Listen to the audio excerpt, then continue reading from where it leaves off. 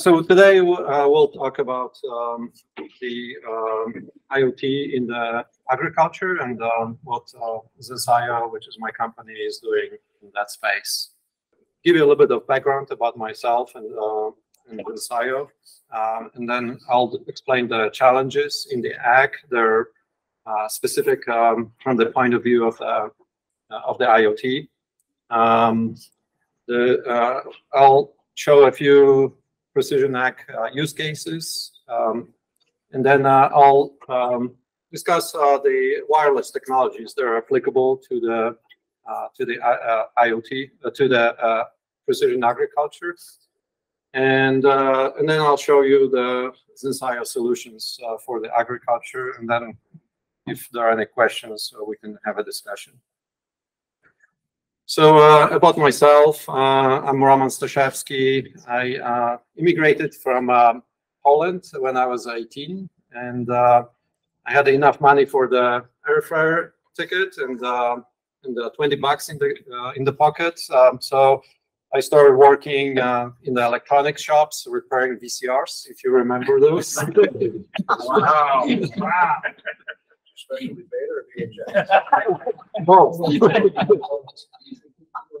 So uh, you know, when I started, uh, they were like uh, you know two thousand, three thousand dollar pieces, right? Uh, so it was really worth to fix them. But um, when I um, finished, uh, you know, they were like uh, eighty dollars. So you know, the, the writing was on the wall that I needed to do something. But while I was, um, you know, I gained some experience repairing things. I started my own electronics repair shop and uh, that, was called uh, Videotech, and uh, actually that was um, you know letting me um, have a flexibility to continue studying, pursuing my bachelor's degree, and and support myself. So I finished. Um, uh, uh, at UTD, basically, um, you know, debt debt free, and uh, you know, so th that was a pretty good experience and gave me some taste of entrepreneurship. Um, and uh, so I, uh, I graduated uh, with a BS and MS in EE from UTD. Uh, and uh, then I started working at Texas Instruments, uh, first as an IC chip design designer and then manager. And then I worked as an IC as an IC system architect. so Brian is from that part of my life. And I worked on um, uh, many different types of technologies and products. Uh, so, uh, like uh, for example, the wireless um, radios for Bluetooth and cellular. So, uh, we're the startup within TI that developed um, really revolutionary technology that um, allowed to combine the RF and digital on a single chip. So, um, basically, this allowed to make cell phones and uh, Bluetooth headsets uh, very cheap and uh, plentiful, and basically uh, provide those uh, to um, to the third world countries, you know, at very low cost. Um, uh, I worked on the processors for smartphones and tablets, and specifically accelerators for computer vision, augmented reality, natural user interfaces, and imaging. And um, and the uh, and then I worked in the automotive group uh, on the driver's assistance technology that was utilizing the cameras and the various sensors. Um, so uh, basically uh, doing the sensor integration uh, and uh, processing the multiple streams of data in efficient ways. I was a, a, distinguished member of technical staff at TI. Um, and and then when I I wanted always to start my own business, um, you know, uh, aside from that first uh, repair shop. So uh, I, um, uh, I decided to uh, start a company that was focused on IoT because I had a lot of background working with sensors and processors and wireless technologies at TI. So that was kind of a very natural thing for me because I, I, knew the, the technology from inside out, and then I could build on uh, on top of that. Um, so uh, I've been uh, basically an, an, IoT hardware entrepreneur for the last 10 years. So uh, Zenseio is, um, uh, I founded it in 2014, so uh, 10 years ago. Um, and uh, uh, the from the beginning, uh, it was, I, I, had an idea to be basically a system integrator to take all these different pieces and put together the larger systems and utilize my expertise in the in the hardware. But uh, as I started looking for the, the hardware, the, I could not really find anything that was uh, fitting. You know, there were like a proprietary systems for verticals or very expensive um, modems, and uh, they were like, um, you know, uh, mains powered, so you could not use them in the field. Uh, and uh, basically, it was just, you know, I I thought, okay, so I need to pivot, and I need to create, start creating the hardware that could be used for these kind of applications. Um, and IoT at that time was uh, really new. You know, it was like M2M, you know, before, and uh, it was quite different from IoT. There was you know, uh, not as much of the cloud uh, emphasis. Uh, it was more like point-to-point -point communication. Um, so, um, so there was, um, you know, and um, since it was a very new area, I wanted to um, basically I knew that it was very difficult uh, for uh, the uh, businesses that were low tech that were basically ideal targets for IoT to uh, use that technology and, uh, uh, put it together to in a system to and you know and basically even they did not know the, what the requirements should be. So um, you know less along finding the right hardware and so on. So basically I um, developed like the FlexiSense hardware platform. So this was a, a, hardware platform based on modules, and I'll talk more about this. But uh, it allowed uh, basically quick prototyping of the use cases uh, in the uh, real settings, real life settings. Um, so um, you know, in the field. Um, and then um, you know, I basically uh, found uh, found that I was um, the customer for my own product because the customers wanted the and kind of like uh, proof of concept um, product, but uh, they did not know really how to use uh, you know that technology. So um, so they were asking me to build it for them, and um, and I was doing that. So I basically thought, okay, why not make the products uh, that uh, are the most common for what I'm being asked for most common. So I basically pivoted and uh, started doing like um, the products based on my hardware platform and productizing them. so uh, the, so basically they were like uh, LoRa-based products, and uh, LoRa actually came out um, you know a couple of years earlier. So uh, I was a very early adopter uh, for that. and uh, the first products were LoRa-based, and I saw a lot of traction from um, from agri agriculture applications, um, and LoRa seemed like a was perfect choice for these kind of applications. Um, so then I basically had uh, like a first version and some um, you know uh, some product variants, and then uh, the next version of that LoRa.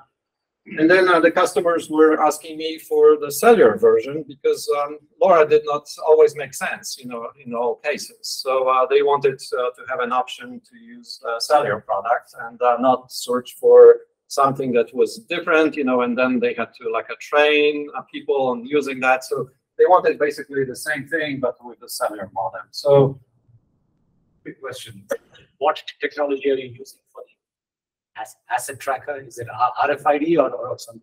Uh, no, th this was uh, GPS based.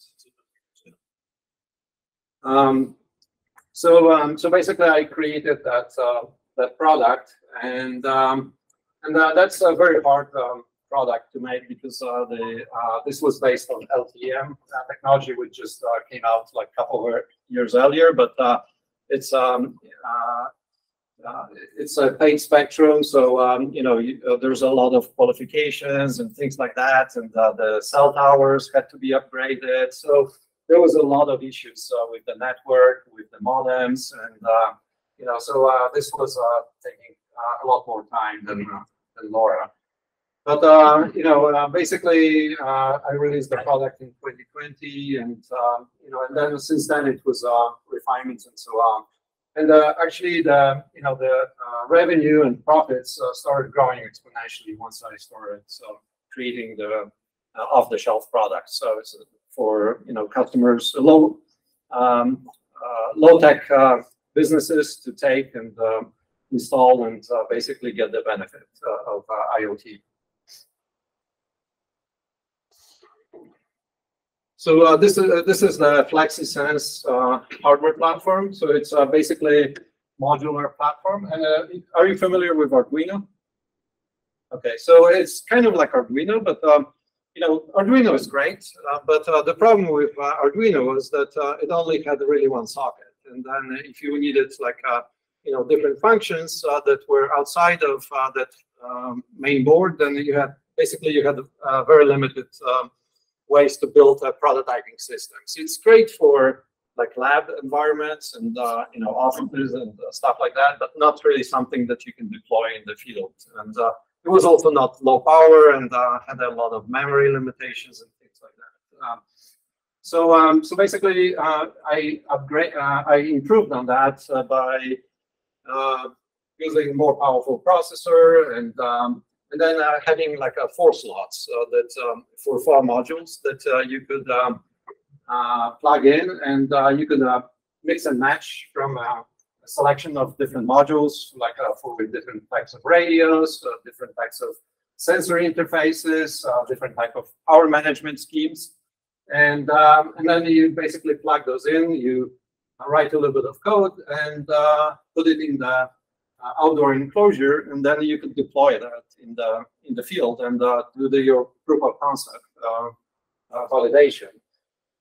And uh, and then uh, if you decided, okay, uh, you went through some iterations and decided that uh, it was uh, you know uh, acceptable product, then I could go to production very quickly by just um, making everything on a single board and removing the things that are not needed and you know basically cost optimizing.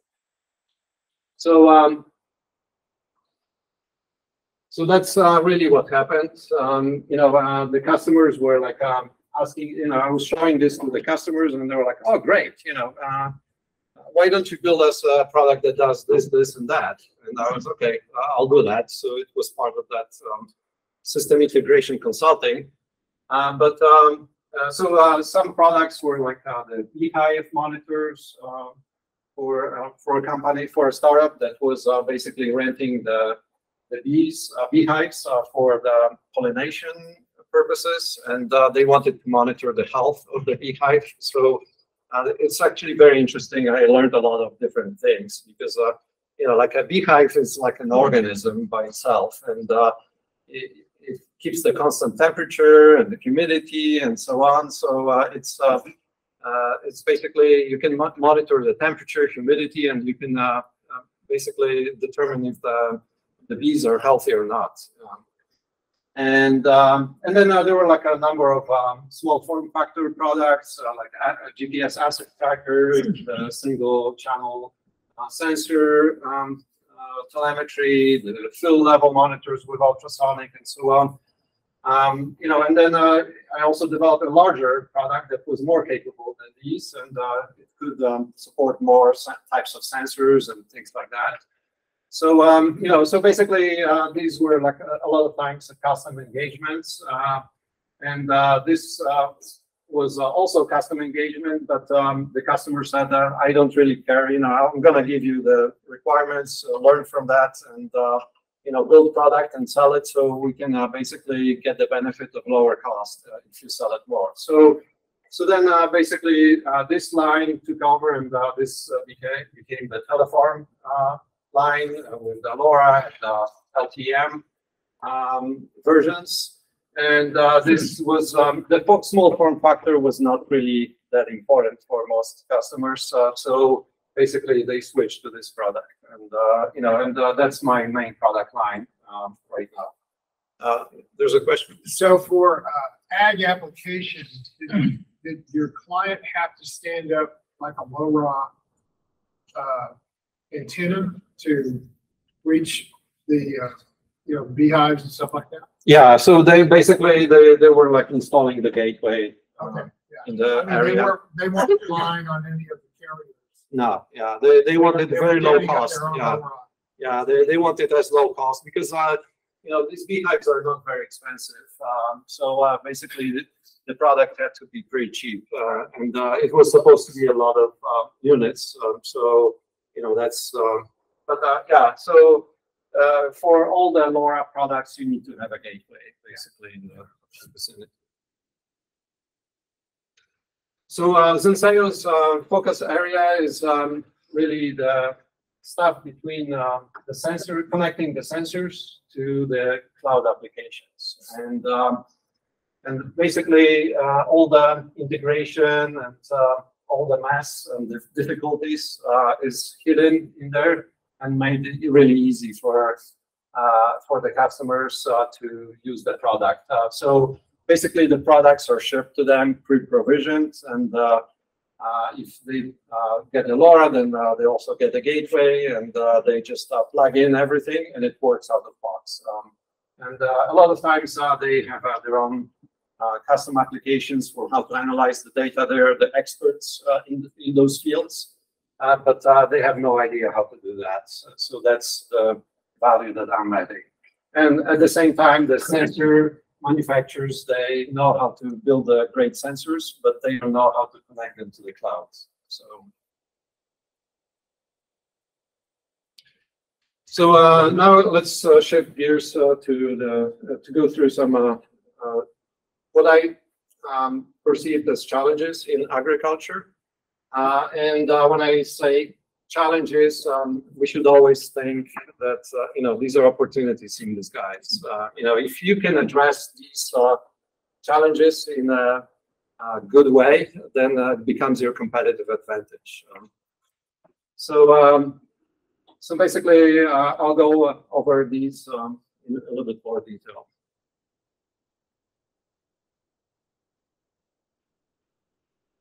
Okay, so uh, the first one is uh, for, for market uh, fragmentation, and um, it's uh, it's a big deal, you know. So there, uh, that's the reason why the big companies don't really uh, want to go into the agriculture, you know, unless it's like a big sector or something, because it's really difficult, you know. It's you know, they have to deal with many different customers of different sizes there are so many different um, subsectors, and they, within each subsector, there are so many, you know, uh, different uh, areas um, and the requirements. Um, so, um, uh, you know, the supply chain complexities are just uh, mind-boggling. You know, um, uh, I, I, entered into like different types of relationships over the years There were you know, uh, there might be a company that uh, has a competing products to mine, and uh, you know, we resell each other's products. So it's uh, it's uh, that crazy. And um, yeah, so so basically, you just have to focus on the niches the, where you can add value, and you know, either horizontal, very narrow horizontal, you know, or um, vertical, you know, and uh, and then even then it's kind of like limited, uh, you know, uh, reach for the products. Uh, so you really need to know where you want to add value and where you're good at. There's questions. Yeah, so, uh, so what are your your sales channels, your selling channels for this? Um, I, I, think you know some of these uh, rural areas they have like tractor supply and, you know, farm equipment and stuff. And so how do you get the word out to people for your product? Is it, uh, you know, word of mouth or? It's uh, basically if you build a great product, it's going to be, um, you know, most of the sales are going to be through word of mouth uh, because it's uh, it's difficult. You know, the products uh, out there, and I'll talk more about why it is, but uh, the products there uh, that were out there they were not very good you know and it's really tough to make a good product uh, so if you have a good product you know great product um, it sells itself uh, very easily and uh, you know the sales channels are very complicated it's there's no like one cookie cutter approach because of these um, you know because of the fragmentation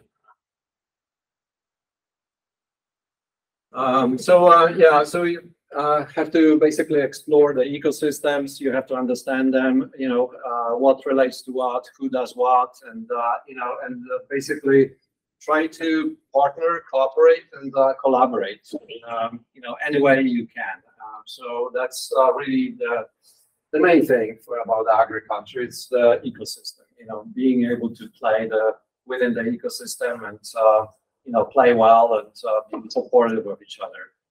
Um, and uh, you need to understand the uh, needs and requirements uh, for the product. So if you have like a certain products in mind, then um, uh, you need to you know uh, understand uh, how you can uh, kind of broaden the scope of that product so it can apply to different um, you know segments or different use cases without too much of um, you know burden on the product. So that's that's really key. Um, and uh, yeah, so you basically build a versatile product.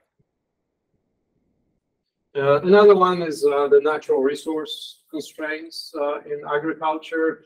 And, uh, you know, so like a, uh, water scarcity, soil degradation, climate change, biodiversity loss, pests and diseases, and so on, you know, fertilizer cost, government res restrictions.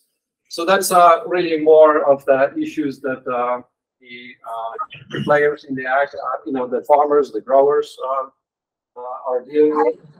and that's where I, IoT is really perfectly positioned to help. You know? So, uh, so you just want to really think how your product can alleviate their, you know, those issues, and how can you, you know, um, uh, help monitor the uh, resource usage, uh, how you can prevent waste, you know, how you can uh, provide the data about uh, conditions, soil conditions, and so on. So uh, that's basically you you have to think really how your product can you know apply to the to the agriculture. So Roman, you address all those?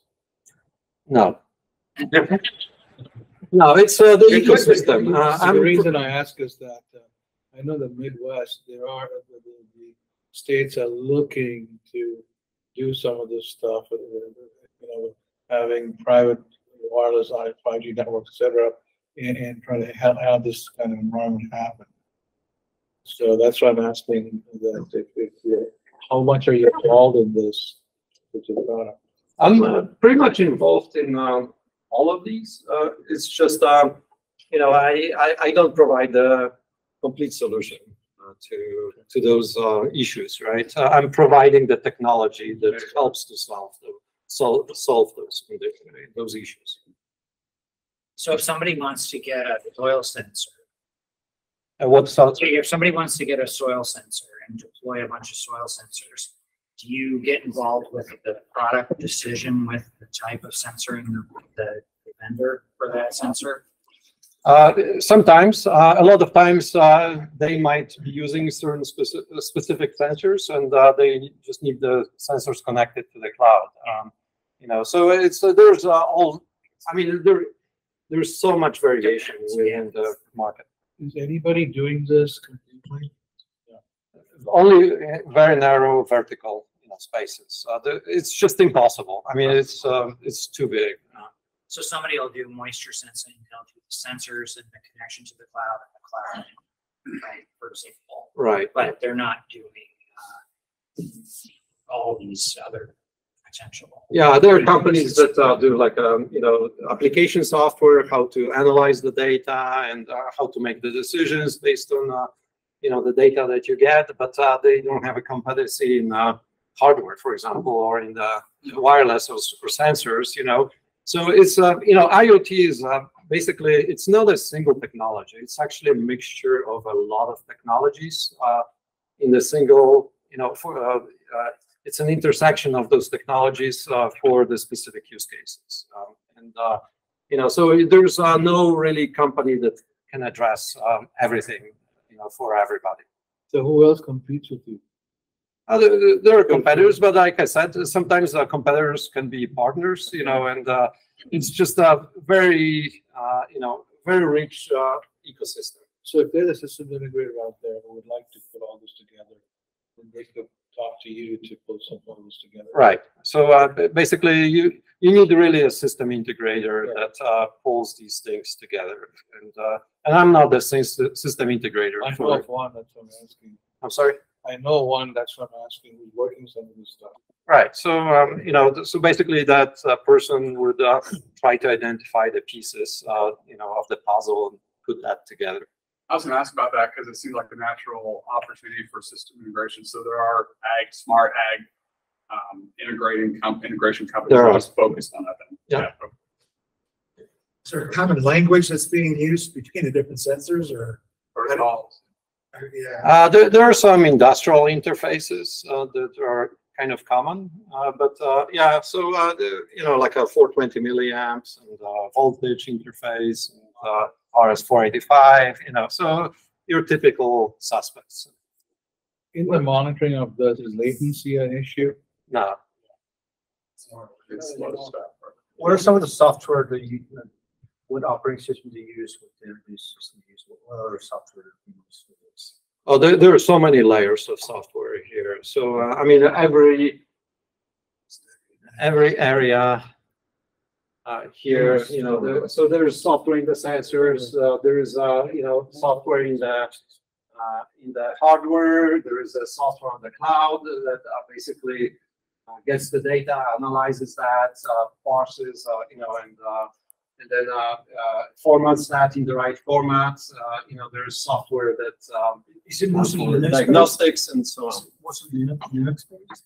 It's, uh, so, um, it depends where, you know, like, uh, here, uh, you know, like, uh, here on the hardware side, it's mostly C, C plus plus. Running on, Micro. Uh, it's, uh, actually not even an operating system, just, uh, Okay. bare bones, you know. okay.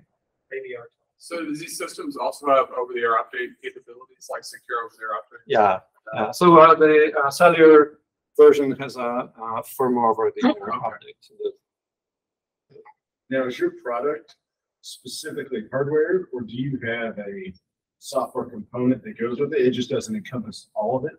it encompasses all of that. So like uh, here, basically there is a hardware, uh, you know, the firmware, uh, and then the cloud software. You know, so um, so basically it's uh, uh, it's uh, basically taking all these different things that are difficult to make work together and and packages that and provides us a ready to use, easy to use product. Roman, you make your own boards, everything? Yeah. right, Sorry, I don't, sorry, I don't know, like, the data analysis part, do you provide the No. tool for it, or we can get ingested to any? No, it's, uh, uh, our partners are basically providing those pieces and, uh, we work with multiple partners. Uh, Object Spectrum is one of them.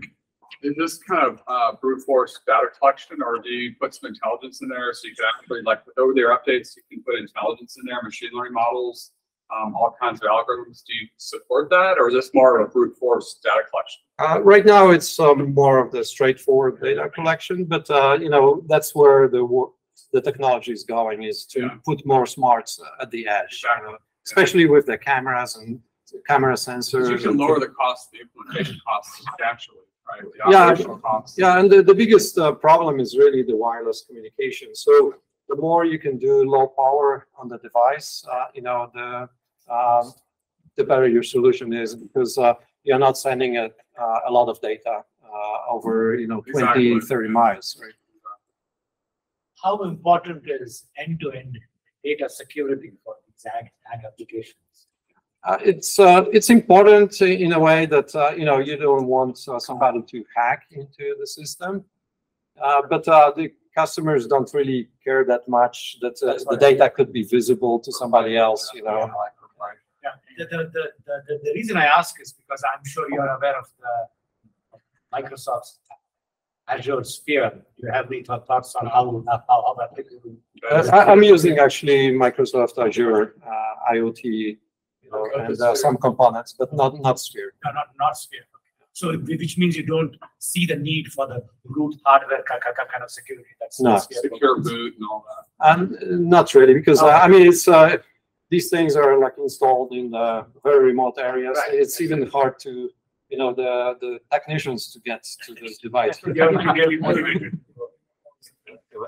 Does your hardware incorporate any industry four point oh technology protocol natively, like, uh, say, directly from your hardware? Or does it have to go to your basically cloud service before that protocol can be kind of like available for the end user? So uh, uh, the LTE device, uh, it's actually using MQTT, uh, you know, uh, protocol to connect uh, to the cloud.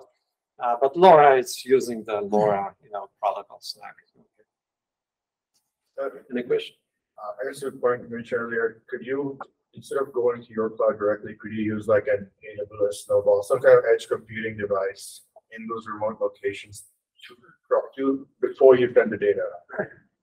Uh, you could, but uh, the problem is, uh, and I'll talk about this. Uh, there, there's no infrastructure, so um, you have to send the data long distance, uh, anyways.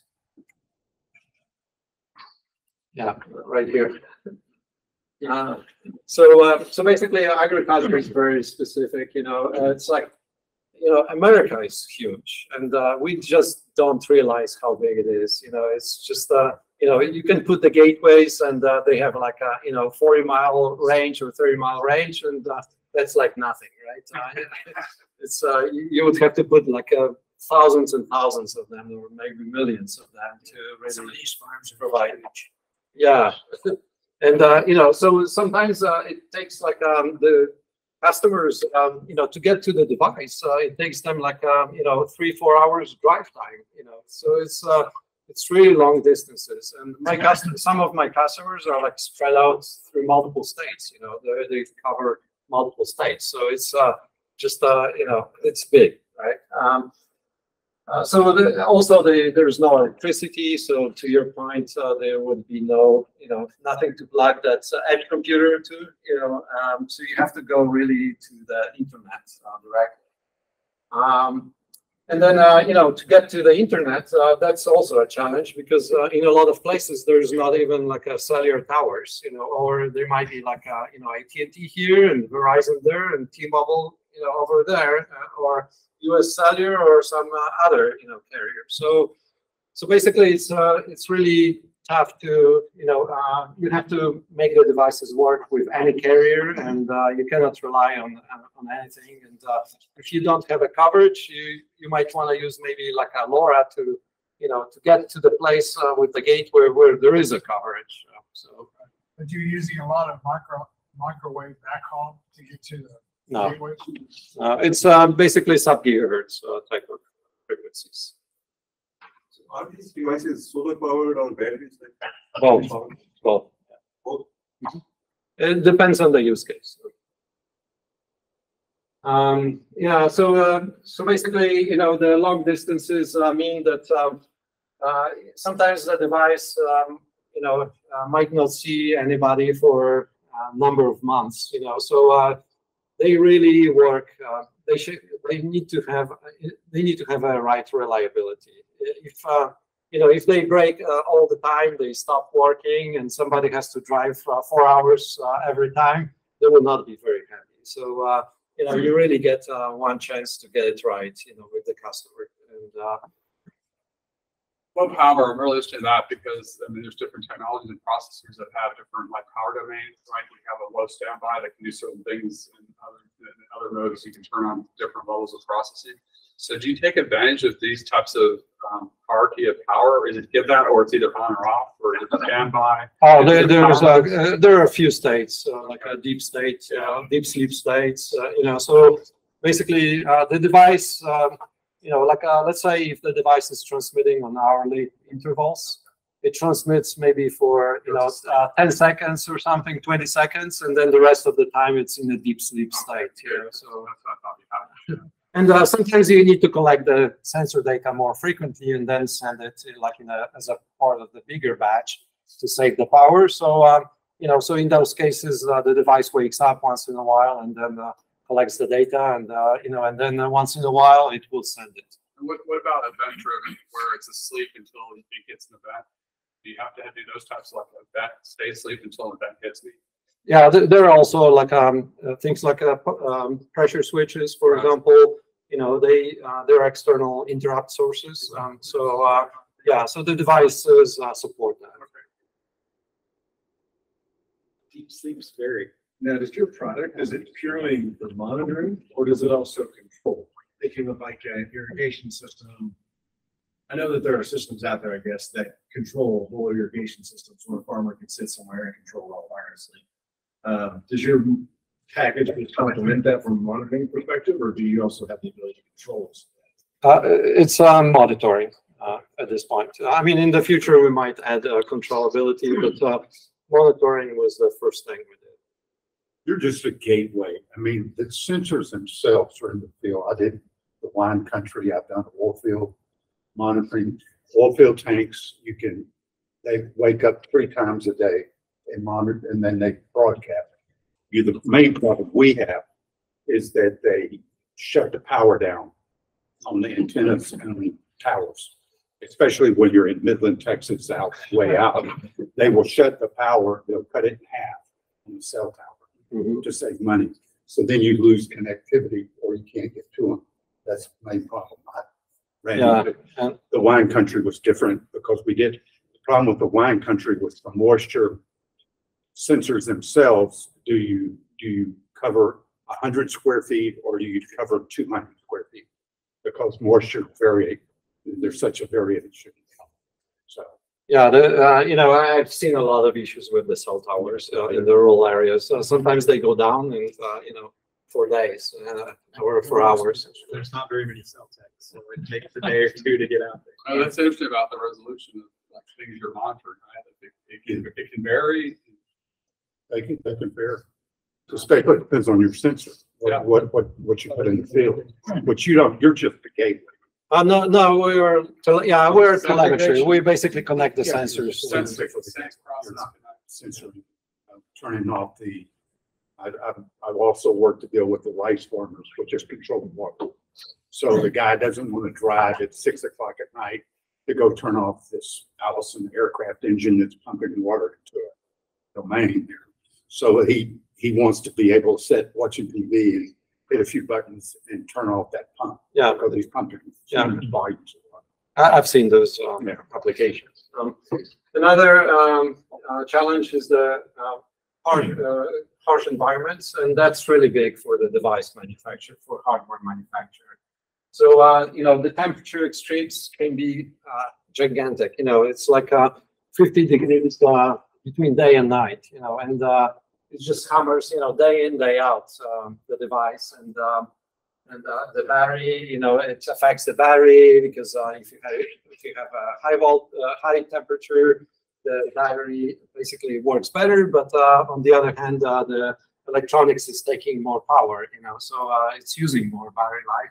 When the temperature is low, you know, the battery becomes um, kind of constrained, but you use less power. So it's like you know, and then uh, the chemical processes in the batteries, uh, they just uh, you know, uh, it destroys the batteries. So you have to use like um, industrial, military grade batteries. You know, you cannot use consumer or anything like that. Um, you know, so the components deteriorate. You know, you have to have the right temperature range. So it's pretty much industrial temperature range. Um, and um, uh, you know, the UV, the moisture that uh, basically affects the enclosures, the seals, you know, the, uh, so you have to deal with that. Uh, insects and pests, uh, you know, insects, rodents. So insects sometimes, uh, if the customer doesn't close the cable glands all the way, the, some, something crawls up, you know, into the electronics, dies, and then corrodes the electronics, you know, and so um, the you know and the rodents so they basically chew through the cables you know so you have to put the right uh, protection for that and stuff. Um, there's a like a heavy machinery you know all the time going through like let's say orchards you know they will knock the antennas off or will knock the device to the ground. So like uh, you can see the signal is really good and then it suddenly drops and it's like ah, you know struggling to of uh, you know, there's also a lot of unskilled labor. So, um, you know, they're misusing the devices. Uh, you know, just um, uh, sometimes uh, we get uh, the uh, warranty, you know, returns, and it's like we find a piece of wire, you know, on the board, and it's shorting something, you know. So it's, you know, or it, they're not, you know, you like maybe installing upside down or something, and then the wire gets into the cable gland. Uh, they might uh, pull on the battery cable and just rip off the connectors. So all sorts of issues. How many returns do you get like that? Uh, not too many, but uh, it happens, you know. Uh, you know, and then uh, the uh, as far as uh, I classify that as a harsh environment uh, is uh, diverse uh, terrain and uh, vegetation. So, you know, um, we're basically deployed uh, all over U.S., Canada, South America. You know, in some places, uh, and uh, it, it's just geography is very different. You know, in some places you have a hilly environment, some places are very flat, so some places you have a lot of vegetations. You know, like trees around it, some are like corn, you know. So it's just uh, all different uh, types of um, you know environments, and, uh, and it's you have to use a lot of tricks to you know uh, maintain the radio connectivity. You know uh, how you choose the antennas, you know how you mount the antennas and things like that. There's a lot of thought. Which countries in South Um, so we have installations in uh, Brazil, uh, Ecuador,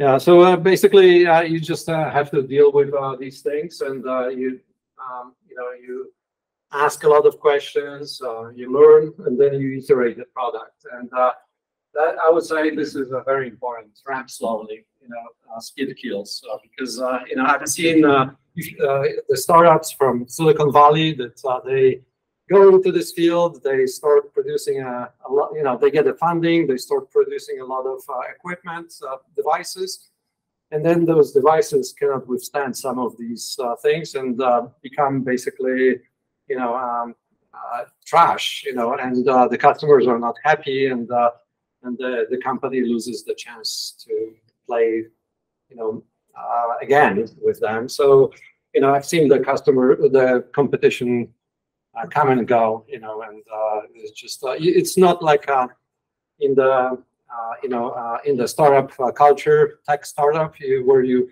have to you know put out the product fast and uh, iterate uh, you know quickly, and uh, you know even if you have bugs, bugs and uh, you know uh, you just uh, fix them on the go, it just doesn't work like that. You know, it's you, when you put out the hardware, it lives for several years and it has to work reliably.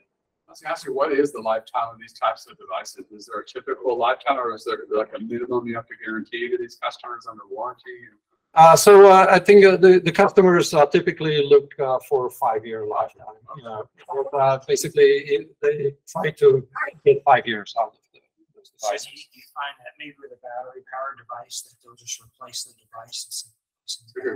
No, they uh, they replace the battery. They will. Uh, Quick question on testing, because uh, testing all of those crazy conditions is uh, often a challenge as well. Tell me about that. You can see the gray hair.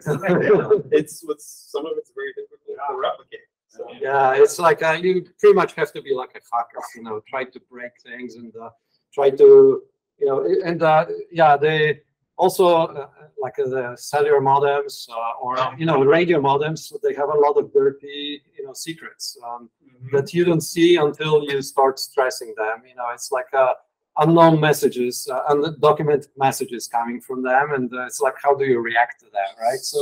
Swapping SIM cards from AT&T to T-Mobile to Verizon. Yeah. a World of difference. Yeah, yeah, uh, or if you use the MVNOs, you know, that's the Oh, that's a whole other- word. Yeah, so, you know, you, uh, yeah, and uh, with like uh, LoRa, it's even hard to, uh, hard to replicate some of those, um, you know, um, some of those um, uh, uh, issues, uh, like signal issues, because uh, the signal is so strong. You know, it's like you would have to go 10, 20 miles uh, to to really, you know, get something similar. You try to put like a metal around, you know, the device, remove the antenna, and it's still strong signal. You know, it's- Throw in a microwave. it'll still work.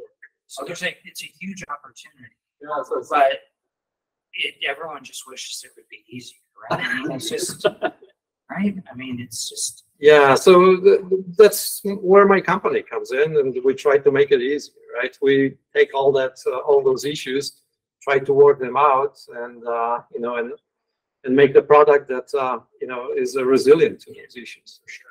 Are there any test or certification labs in this area that kind of maybe you offload some of that? The customers are the Yes. best. That's- I just wonder if this is so fragmented, there's thousands of companies doing this, they get together collectively and actually have a lab that can standardize all that and maybe offload a lot of the burden from you guys. No, there- it's uh, too fragmented. It's uh, still too fragmented. But uh, I think that's the key here.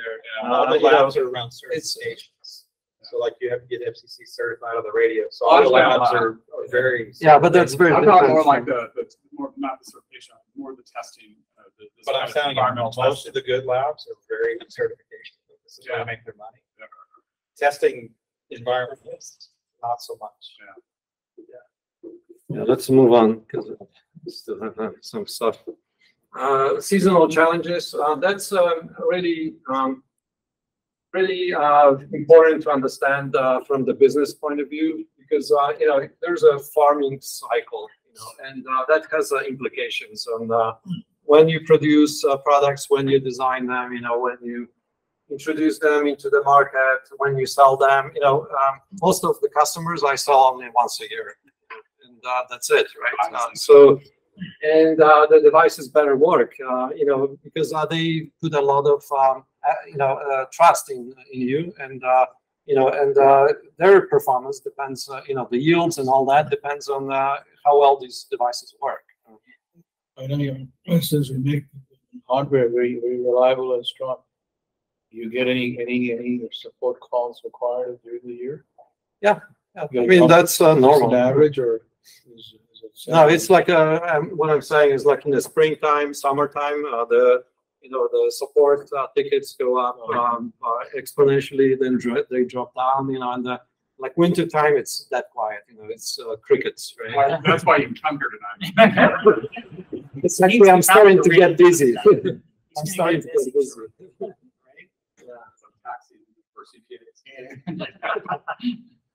So uh, you know, but uh, uh, so basically, you know, if you the way to deal with that, you interscale globally. So uh, you cover two hemispheres. You know, then uh, basically you can kind of balance uh, things.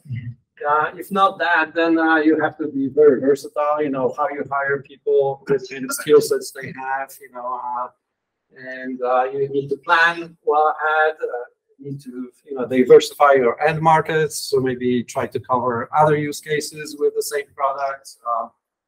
Uh, and uh, you know, so um, yeah, so it's uh, basically just um, being really nimble and uh, you know and uh, doing things, uh, automating things a lot. You know, uh, just um, you know, uh, trying to yeah uh, be creative uh, with uh, with that So are your, are your service contracts annual or multi-year?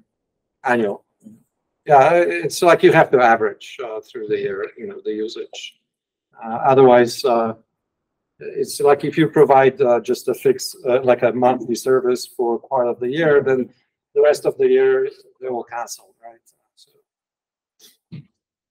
uh, yeah, and uh, ag is, has been uh, really underinvested uh, because of these um, issues like market fragmentation, the um, the seasonality, the tough product requirements, and uh, you know the farmers typically don't have um, much margin, uh, so um, so they don't have a lot of money to to spend. Um, you know, and uh, it's a lot of times it's feast and famine. You know, and uh, that just depends outside of their um, influence. You know, it's like weather patterns. Uh, diseases, uh, government policies, you know, import, export duties and things like that, consumer sentiment changes. Um, so, uh, but uh, again, that's where IoT can help them, you know, and uh, that's where you can add value and uh, to pay for the products that you produce um, by basically helping them reduce the costs, uh, improve the yields, um, improve uh,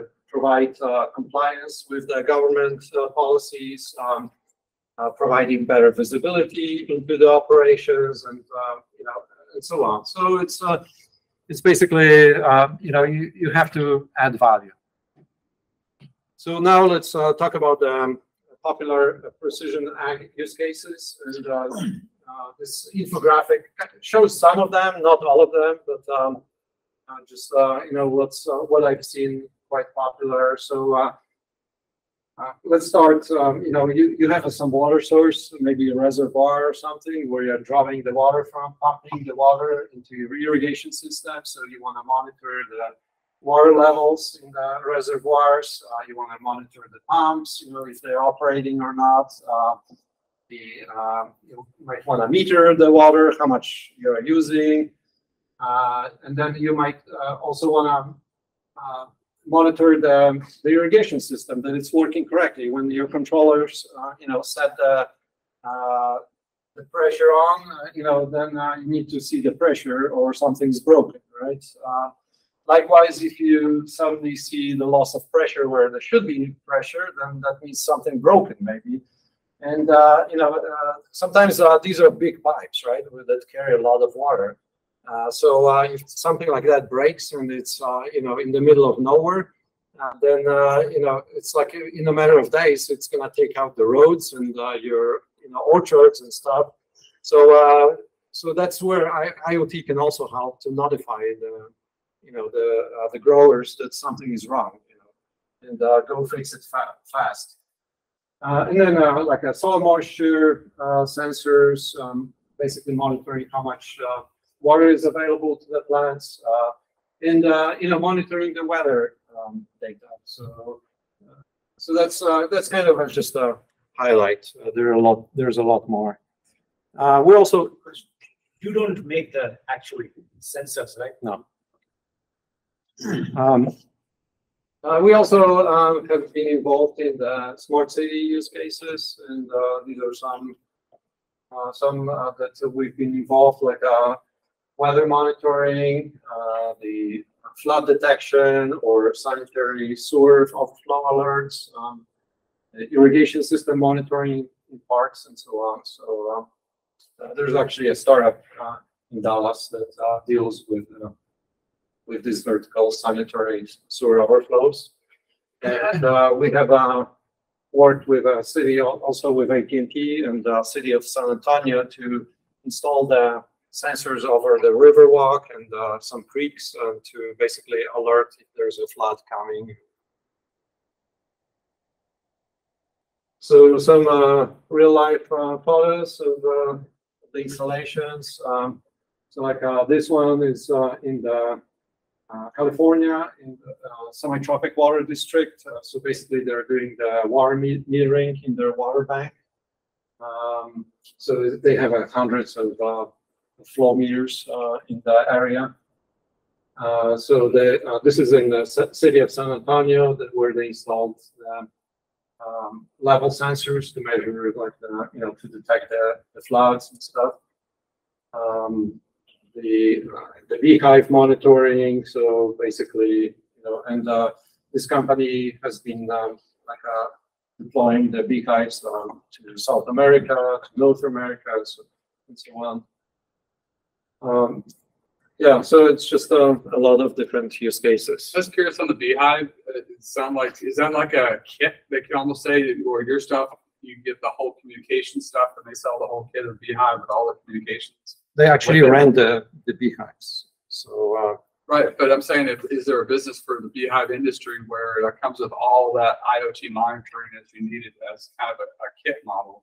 Rather, you have to custom go out to each one to, to, do individual sales, right? It's, uh, it, it sells itself. yeah, there, there might be, we're, you know, uh, I mean, uh, we basically, we cannot pursue every use case. Then become, we become vertical, right? So it's uh, our customers that uh, pursue those use cases and they make the solutions, you know, and we help them make those solutions. So the um, I'll, talk uh, about the wireless technologies uh, for uh, agriculture that are well suitable for agriculture. How many are you familiar with LTE and or LoRaWAN? So uh, yeah, so those two really are game changers and in the uh, agriculture.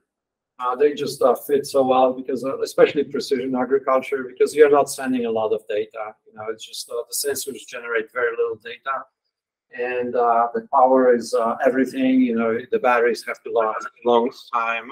Um, so you know, so basically, Uh, LoRa, there's a, there's some companies that make the proprietary LoRa, LoRa implementations, and uh, they basically put their own uh, communication stack on top of LoRa.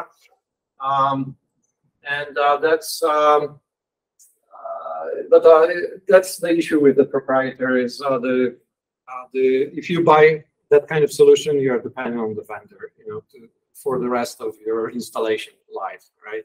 So uh, if the company goes out or if there's something wrong with their products, the, uh, all your investment is pretty much gone. You know, so that's why uh, I like um, these uh, uh, standard uh, type of solutions. You know, so um, basically you can um, replace. You know, all your investment is in the in the infrastructure can be recouped if something goes wrong. Uh, satellite IoT, that's gonna be a big thing, but uh, it's not there yet. Um, and uh, it looks like it's gonna be really using the LTE modems or NB-IoT modems uh, to connect directly to satellite. So it's gonna be like a base station, really. You know. There's at least one company that's trying to do LoRa to satellite, right? Uh, there, there's some, but my understanding is that it's not directly to the satellite, it's, uh, to, uh, some Relay- base no, stations. it's actually relays. connected satellite. Oh, it is, okay. I think And there was two different models that they were working on, and I, I just, I just, heard the other day, they were talking about device directly to satellite. Before that, it was device to, uh, relay, relay and then up. Yeah. So either way, it's a matter of, can you have enough signal and, and can see the satellite? So they're working on it. Yeah, and uh, I played with Swarm and, uh, you know, it works well, but uh, it just was not enough satellites. Uh, Exactly. to- The problem was you have to wait, to transmit it exactly this eight minute window. Yeah. Yeah. There's a lot. Starlink, here we go. Yeah, and they- they- Starlink now. Yeah, Starlink is gonna fix that. Uh, basically, they uh, purchased the Swarm and uh, they discontinued that technology, and uh, uh, you know over time they will migrate into the cellular technology to direct to the cloud uh, to the satellite. Um, It's gonna take a while, but we'll get there eventually. Yeah, yeah, which uh, I think is going to be great, especially for South America where there's really no infrastructure in a lot of places. It's a lot of satellites. Yeah, it does. Uh, so LoRaWAN that came out um, in uh, 2015. It's a very low power, uh, long range, and low cost uh, type of solution, and uh, it works amazingly well. Uh, so um, you know it's been a game changer. In the past, uh, there were like a proprietary sub gigahertz um, product uh, protocols, and uh, they were nearly as good, uh, you know, as as LoRa. Um, it's very robust and works well. It's also secure, and um, it's a stars of stars topology. So actually, you can add multiple gateways, and they help the the overall network to work better. Um, and uh, it's a global standard. Uh, however, the radio and the firmware must support it because there are like differences in the frequencies that you use, and also the even at the application layer, the packet lengths are different, you know, depending on uh, which region you're working. Isn't there a LoRaWAN two point four? There is, uh, It's yeah. fairly new. Do you think that's promising or? It's promising, but uh, I think for maybe asset tracking and things like that on the on the boats, uh, you know, uh, or in the airports and stuff, uh, and you know, but uh, like uh, for a lot of applications where you need a long range, you know, it's not going to be as good because it's 2.4 gigahertz. So I'm assuming the band, okay, so this is, I'm really ignorant on this, but I'm assuming the bandwidth of this isn't very high. It's not. No, you cannot make a phone call with. No video. Yeah, just uh, like a little bit of text, maybe a single word. or What's something. the, what's the typical, uh, packet size? For LoRa, uh, you know, it can go as low as uh, like 11 bytes, you know, of, of the actual application payload. So it's like really little. But you can do multiple. Yeah, you can do them out. Yeah. How It's, many packets per minute? Um, well, it depends on your yeah on your data rate. So I think it's like uh, you know, um, uh, it's probably like a, uh, few, uh, well, maybe two per second or something. You know. They're, they're binary data. Where Yeah, at it's not, yeah, so like, uh, you know, it depends on the data rate, right, and the region, uh, they have a different definition of data rates, um, but, uh, you know, like in Europe, it's 50, I think three bytes or something, you know, for minimum number, and then it can go uh, like to 242 bytes. So, What's the, well, well, what's the frequency? It's two two point four gigahertz? well, it's uh, well, there is a uh, 2.4 gigahertz variant, but uh, what I'm talking about here is uh, like 950 That's- megahertz. In the US, there are some four fifty frequencies. It just depends on what part of the country, what part of the world you're in, as to what they allow. Uh, so th- this is uh, what the star of stars uh, network looks like. Uh, so basically, you can have multiple gateways. The same device can talk to uh, multiple gateways. Uh, the device is not registered in the inside the gateway. It's actually registered in the what is called network server, and uh, and that network server can be on the gateway, but then it's kind of limited because uh, the whole system becomes just one gateway. Uh, but uh, for really flexibility, uh, this network server is on is uh, implemented on the cloud. And, uh, and then uh, the gateways are just faster. They convert from the LoRa protocol, a wireless protocol into the IP traffic that goes, you know, to the uh, to the network server and, uh, and then, uh, you know, there's a lot of processing and orchestration going on at this level and goes to application, you know, the data is sent to the application after it's being transformed. Um, so uh, we support um, either public networks or uh, we have our own. So you can bring your own network and uh, install the gateway and uh, just uh, uh, very easy to make it work. And uh, uh, so the, uh, so basically that's an IoT variant of the LTE. It's a low power, uh, long range, and uh, lower cost uh, version of the of the LTE. Uh, so it cannot send as much data. You cannot make the phone calls. Really, I, mean, I guess you could uh, with LTE-M, but it's not really meant for that. It's How meant does the to, distance compare to LTE, are they similar? it's kind of similar, uh, you know, because um, uh, it's also using a lot more power since it's a regulated spectrum. Uh, so, uh, so I, I've seen that uh, the distance is, um, you know, about the same overall. Uh, you know, it's like you get about 20 miles. But you have to rely on where the tower is Yeah. put by the carrier, whereas with LoRa, LoRa WAN, you can put a tower wherever you want. Exactly. If you can afford it. Yeah, that's, And it depends very much on the deployment of your local carrier now. Yeah. Very much. Yeah, so there are pros and cons, and uh, it's just uh, that's why the customers wanted two versions, uh, so then uh, they can address both situations as well. Uh, did you have a question? Yeah, um, I know, um, LoRa is based on the chirp technology. Does Mhm. Also the same? No, it's a uh, it's a, like a 64 QAM or something. You know, it's uh, it's a very different uh, modulations. Is there a reason why, just curious, the circle for LTE-M is as big as E EQ2? Uh, it's uh, just uh, you know No, LTE-M is the serious name of the technology. Okay, that's, I just want to know if if it's a wider. So it's encompassing, you know, uh, basically it's encompassing all of these, right? Do you ever see any need in some critical applications, um, where they have to have redundancy and they have both, both networks, um, LTE and then also, uh, LoRa? Uh, they- they're starting to ask for that, but, uh, it's not, it's not been a real requirement. Maybe, maybe this is a dumb question. Uh, so that, you know, you have all these Friars, AT&T, T-Mobile, Verizon. And, you know, as was said earlier, they all have like different ports, right? Is there an interface that your system like kind of goes through to like convert to their system? Or are you writing software specifically for those purposes? Like, is there a layer of abstraction? Uh, uh, there is, but it's very thin. Like, so it's, uh. With holes. Thin with holes. Yeah. Yeah, and, uh, it is, um, you know, um, also secure, but, uh, the security depends on, you know, uh, depends on the protocol that you are using. So, um, if you're using TLS, then it is secure point of find. If not, then, uh, it really depends, you know, if you have like a virtual, uh, tun- uh, tunnels and stuff like that. So- So there- there's a lot of, um, options there, but, uh, it can be secure.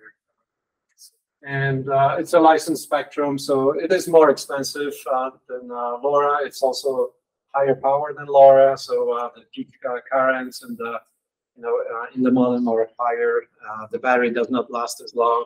So there, are, uh, you know, like I said before, there are pros and cons, and uh, you just have to kind of um, see what's uh, better fits your application.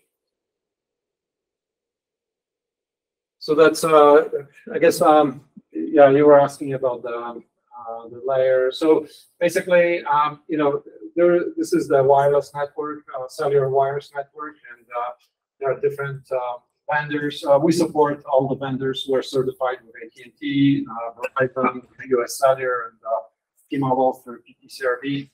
Um, and and uh, we have a secure connection point to point. Um, and uh, basically, uh, the connection is used for telemetry, for configuration.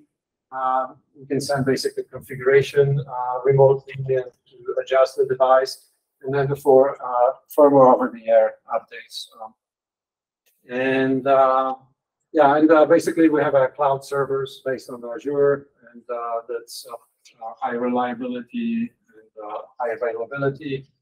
Um, and uh, and then we basically provide the standard HTTP REST kind of APIs that we define for our sensor data to the uh, cloud services, um, so they can consume that data and make use of that data. Uh, so it's basically like a JSON document.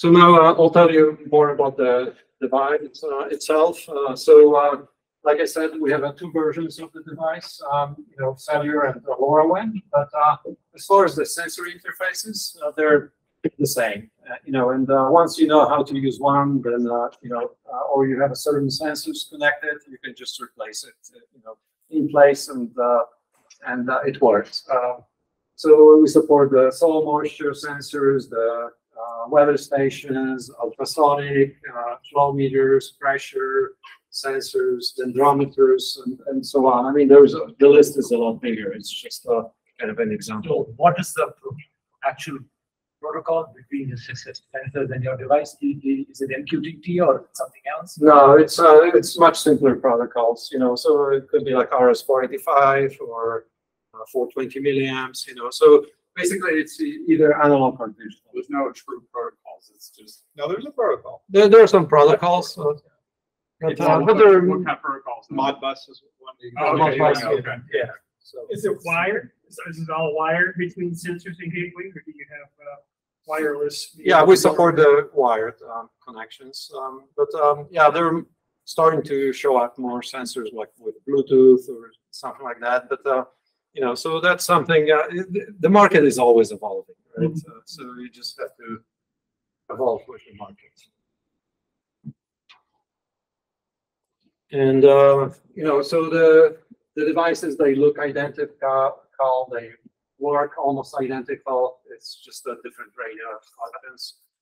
And, uh, you know, so they have a multiple sensory inputs, uh, so they can support, uh, uh, different types of sensors at the same time. Uh, and the LTE-M version is uh, certified uh, for Verizon, the AT&T US Cellular and the CRB. So that covers all other carriers. Um, uh, we support multi-carrier SIM, so uh, basically we don't want to make assumptions um, where the device is going to be deployed because uh, in some places you get uh, one carrier, another another carrier. It's much harder to make because uh, that adds additional layer of complexity.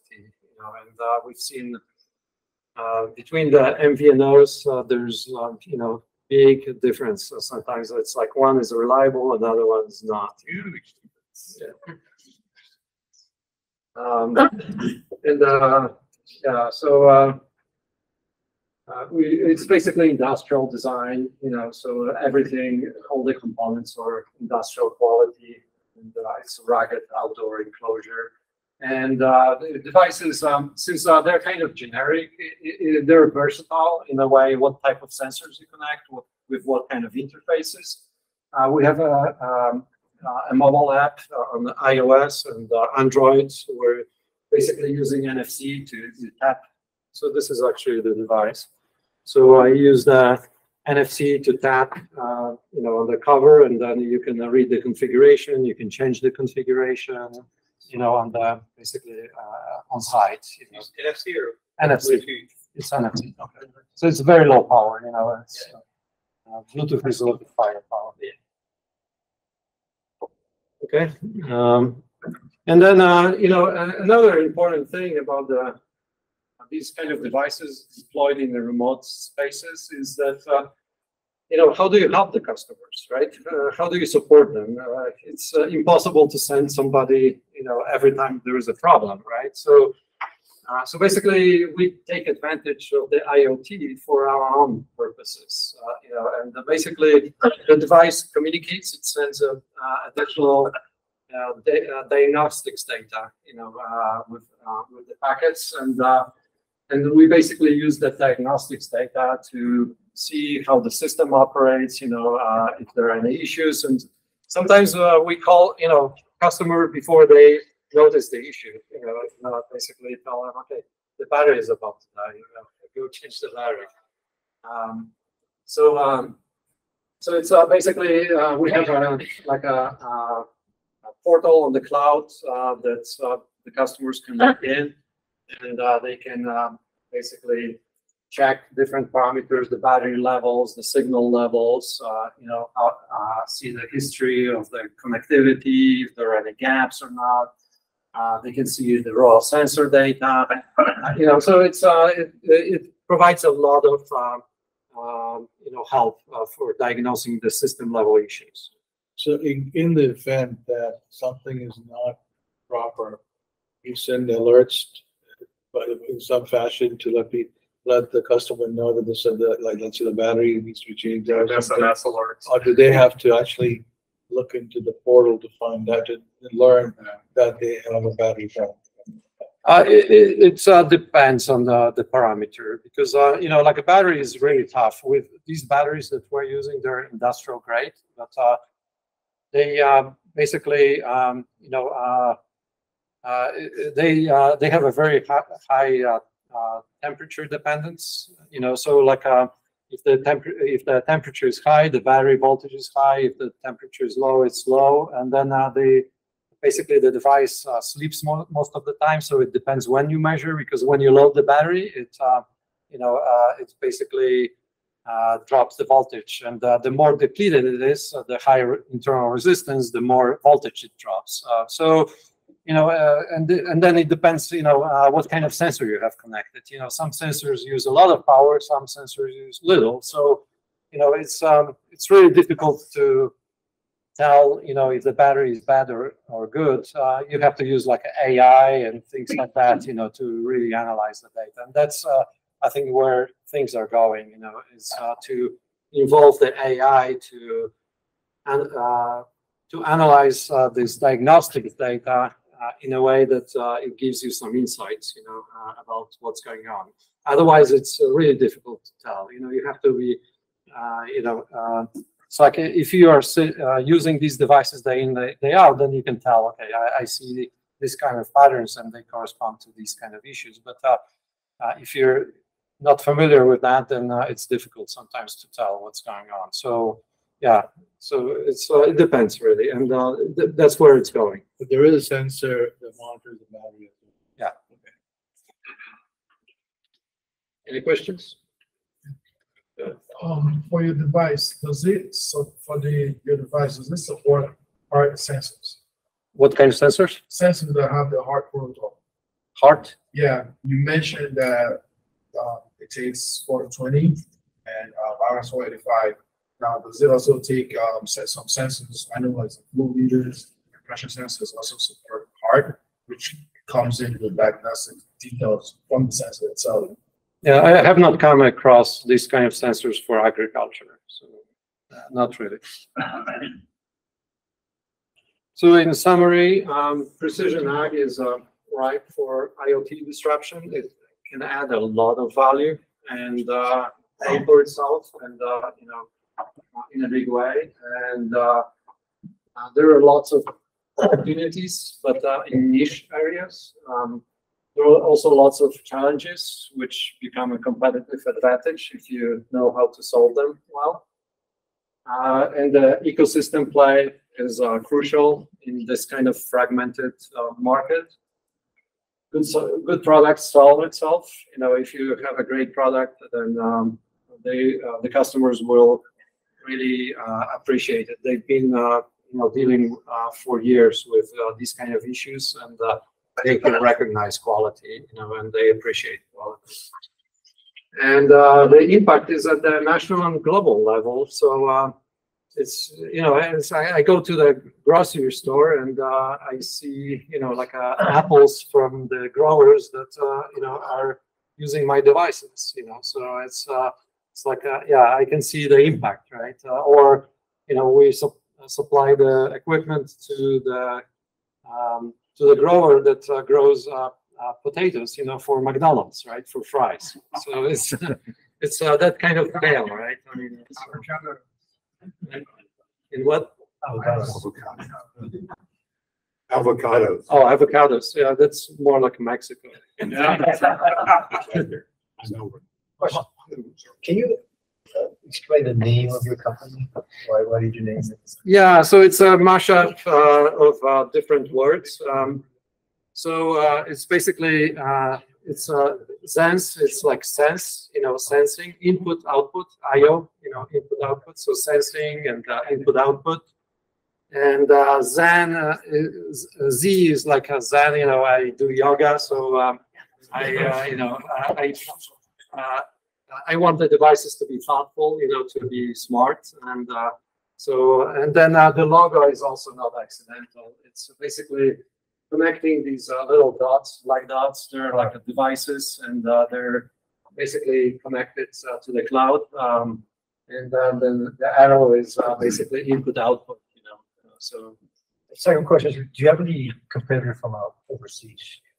Uh, there, there are all sorts of competitors, uh, you know, and uh, it's just uh, really depends on the use case and the, the geography, and uh, you know, so um, it's um, unavoidable to have uh, competitors, um, and uh, it's a very complex market. So, So are you located in uh, in McKinney, How big are you guys? Uh, it's uh, it you know, like I said before, it's uh, basically because of the seasonalities. You have to be flexible. Oh, okay. So uh, you know, it's it varies, uh, but uh, on average, it's less than ten. Any other burning questions that would be beneficial for the group? Do you feel that you have the best customers in the world? Farmers are the best. I, I like them, you know, uh, and uh, I'm not uh, dealing directly with uh, end customers, you know, with the farmers, uh, but uh, more like uh, companies that uh, are providing services uh, to to the farmers and growers.